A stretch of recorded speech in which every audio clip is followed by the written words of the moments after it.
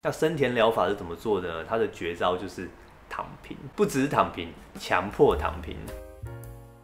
这影片就是拍给跟我一样会没有来由烦躁的人。那我会结合我自己的经验跟心理智商的观点，来跟你们分享如何解决没有来由烦躁感的奥义。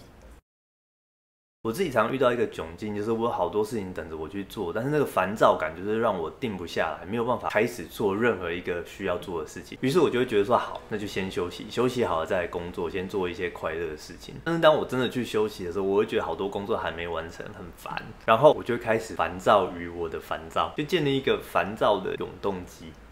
那我也用了各种方法去想办法解决这个问题。我尝试的方法一，去想原因，想我开始烦躁是因为最近发生什么事情，还是以前发生了什么事情？层层的逻辑推演，去剖析我自己的内心。开始看我的童年经验啊，天生特质啊，压力事件啊，生存焦虑或对未来的空虚感等等的。但是常常推演到最后都是全部混杂在一起的，就像废水沟里面的污水。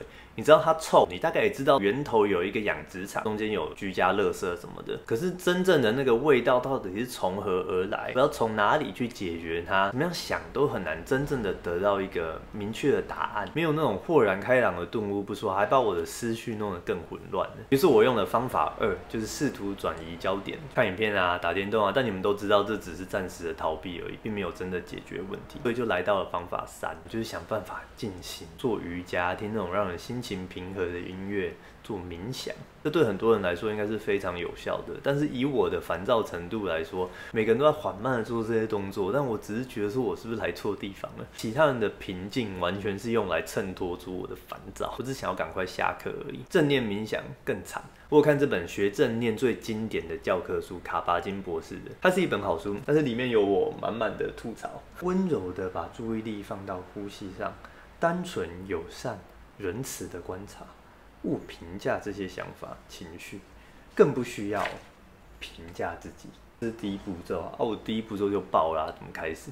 那我后来才理解到，正念、冥想、瑜伽这些东西，比较像是平常的练习，它并不是一个急救的手段。所以方法一到三都失败了。后来发生一件事情，就是我确诊，但我身体还算是蛮不错，只有第一天有一点点小症状，然后接下来都是无症状的状态。那时候确诊还需要隔离一个礼拜，所以我一个礼拜都关在房间里面。前几天可能就是还是会想要做一些事情，可是过了几天之后，就会发现时间实在是太多了。有一天我就做一个决定，就是那一天我什么事情都不要做，我就是躺在床上啥事不干，就发呆，试试看会发生什么事情。结果呢，效果非常的好。几个小时之后，我觉得整个人。神清气爽，轻飘飘的，有一个没事的安心感，然后觉得阳光如果射进来，可以穿透我的身体的那种感觉。整个原本因为确诊隔离的烦躁感都消失了。那我就在想到底是发生什么事情？为什么只是躺在床上就可以这么神奇？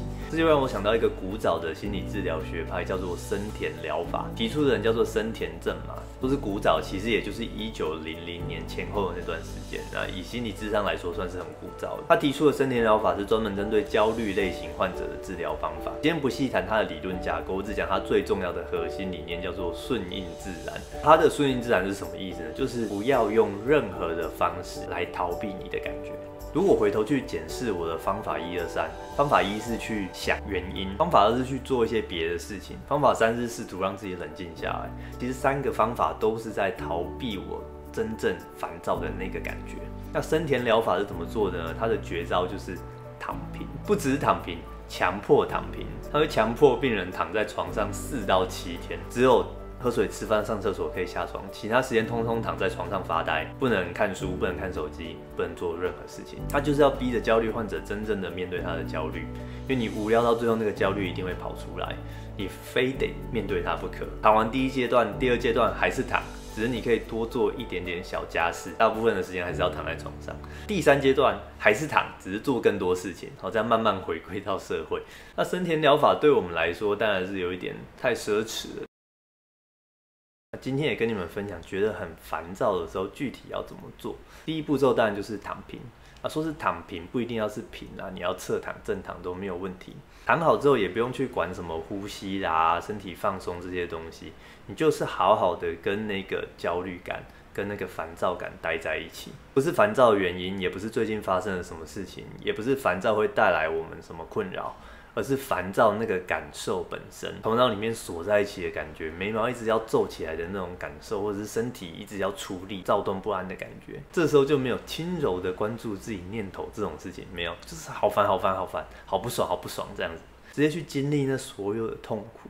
有点像是修炼一样，那烦躁感会一波一波的袭来，然后我们就躺在那边受苦这样。那毕竟那是一个感受嘛，所以我有时候我会分心，也是会开始去想东想西，甚至开始想拍影片的企划。这时候我就拉回来，继续去感受那个烦躁的感觉。那这个时候的烦躁可能还会再加一笔，就是我分心的烦躁。为什么我又分心了？然后又很不爽、很自责。这种自责的感觉也是我们要留住的，就去体会那种自责不舒服。那你可能会想问，做这个事情要多久才会好？其实没有所谓的一定要做到什么程度。当你停下来的时候，你就会发现它一定程度的减缓了我们的烦躁感。每多做一秒钟，你就获得一秒钟的好处。不管你在哪里停下来，它不是一个成功或失败的事情。有可能你会睡着，也很好。如果你觉得豁然开朗可以停了，那也很好。如果你觉得太痛苦了，受不了，或者是后面没有时间了，自己停下来也都是 OK 的。这里我要提醒你们哦，这是我身为一个一般人分享如何解决烦躁的方法。如果你有一个很重大的议题，不管是你原本就知道，还是在这个过程之中让你想起了一些创伤的经验，我是建议一定要去找智商或者是精神科。还有在这过程之中，如果你觉得真的太不舒服了，比如说你感觉你快要过度换气，或者身体快要失控了，请立刻就停下来，这是真的有风险的事情。用了这个方法之后，对我的生活有很大的改善。那我也持续在研究，到底是为什么这个方式会这么有效。在所有的说法里面，我整理出了三个躺平可以解决烦躁的奥义。奥义一：面对生命不是有待解决的问题，是等待被经验的现实。开始真正的经验我们生命中的感受，我们才算是真正的活着，才能有能量在现实的基础上去创造。烦躁是一个讯号，是我们的内心深处在告诉我们说。我有东西需要面对，我越是逃避，他就会越来烦我。为什么很多研究都说伤心的时候要听悲歌比较有助于疗伤？因为悲歌帮助我们去正视那个感觉，帮助我们跟悲伤待在一起。虽然表面上跟悲伤在一起是很不舒服的，可是只有真的面对它，我们才能获得后续走出来的舒畅感。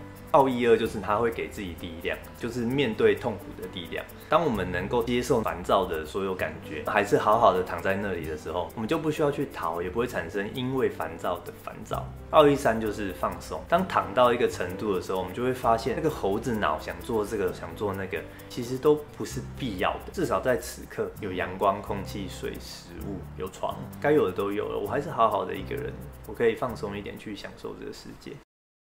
好，以上就是今天的分享。如果你有烦躁不知道怎么办的问题，也许你可以试试看这个方法。当然，也可以去找心理咨商获得更专业的协助。最后，我也想听听看你们的看法。面对烦躁的时候，你们都是怎么做的？有什么样的经验，就留言跟我说吧。拜拜。